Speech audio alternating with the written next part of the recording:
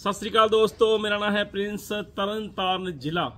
ਪੱਟੀ ਸ਼ਹਿਰ ਦੇ ਲਾਗੇ ਪਿੰਡ ਮਾਡਲ ਬੋਪਾਰੇ ਅੱਡੇ ਤੇ ਆਪਣੀ ਸ਼ਾਪ ਹੈ ਆਪਣਾ ਕਲੀਨਿਕ ਹੈ ਜਿਨ੍ਹਾਂ ਦੀ ਵੀਕਨੈਸ ਜਿਨ੍ਹਾਂ ਨੂੰ ਬਹੁਤ ਜ਼ਿਆਦਾ ਆ ਚੁੱਕੀ ਹੈ।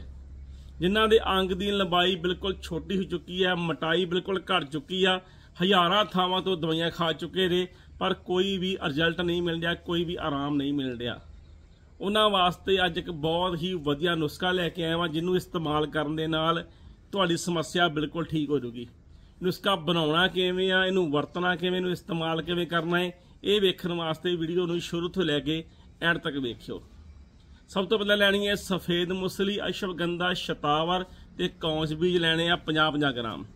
ਵਧਾਰੀ ਤੇ ਵਧਾਰਾ ਲੈਣਾ 30-30 ਗ੍ਰਾਮ। ਸਾਲਮ ਪੰਜਾ, ਸਾਲਮ ਮਿਸ਼ਰੀ ਈਰਾਨੀ ਅਕਰ ਲੈਣਾ 10-10 ਗ੍ਰਾਮ।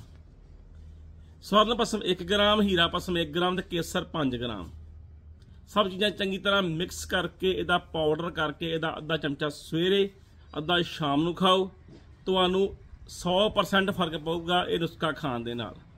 ਤੁਹਾਡੇ ਅੰਦਰ ਜੋ ਵੀ ਵੀਕਨੈਸ ਹੈ, ਜੋ ਵੀ ਕਮਜ਼ੋਰੀ ਹੈ, ਜੋ ਵੀ ਥਕਾਵਟ ਹੈ ਆਲਸਪਨ ਹੈ ਸੁਸਤੀਪਨ ਹੈ ਉਹ ਬਿਲਕੁਲ ਠੀਕ ਹੋ ਜਾਏਗਾ। ਇਹਨਾਂ ਦੀ ਅੰਗ ਦੀ ਲੰਬਾਈ ਛੋਟੀ ਹੈ, ਮੋਟਾਈ ਘੱਟ ਹੈ, ਇਹ ਨੁਸਖਾ ਵਰਤਣ ਦੇ ਨਾਲ ਉਹ ਵੀ ਬਿਲਕੁਲ ਠੀਕ ਹੋ ਜਾਏਗੀ।